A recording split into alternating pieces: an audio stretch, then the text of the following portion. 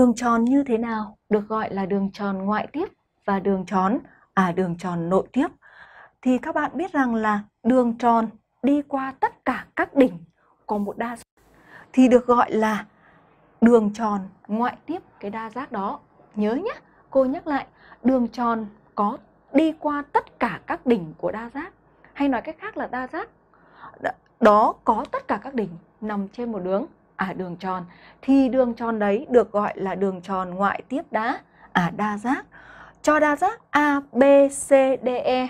Được chưa nhỉ? Ở đây có 1 2 3 4 5 đỉnh được gọi là nhất này nhị này tam tứ ở à, ngũ. Vậy đây là ngũ giác đúng không ạ?